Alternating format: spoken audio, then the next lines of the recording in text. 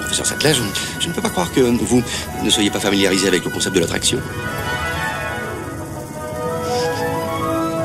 Moi, j'ai amené des savants. Vous, vous amenez une star du rock. On arrive.